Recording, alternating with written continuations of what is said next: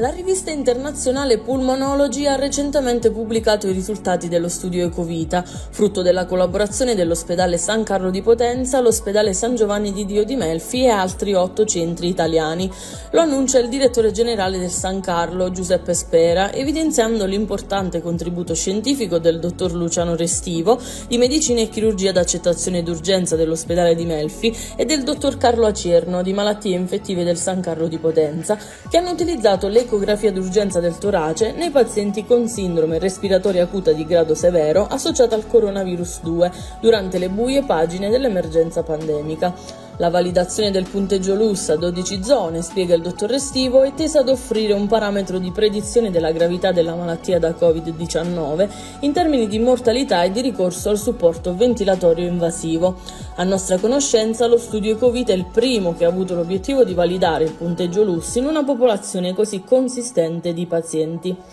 La gravità della patologia è principalmente legata al coinvolgimento delle vie aeree inferiori, continuano i dottori Acerno e Restivo, con conseguenti polmoniti, insufficienza respiratoria, sindrome da distress respiratorio acuto. La TC del torace ha rappresentato il gold standard nella definizione diagnostica e nella valutazione dell'estensione della patologia polmonare legata al coronavirus 19. Tuttavia, considerando l'esposizione alle radiazioni ionizzanti, l'impegno di tempo e risorse, la difficoltà difficoltà nel trasporto dei pazienti dai reparti di cura alle unità di radiologia, si è reso necessario validare e potenziare una metodica alternativa facile da usare, riproducibile, non tossica, non invasiva, quale è l'ecografia toracica. Lo studio Ecovita conferma che l'ecografia toracica è una tecnica riproducibile, poco dispendiosa e atossica, utile per valutare la severità della malattia da SARS-CoV-2 e offrire una precisa stratificazione del rischio. La LUS, infatti, ha predetto accuratamente mortalità e severità del decorso clinico dei pazienti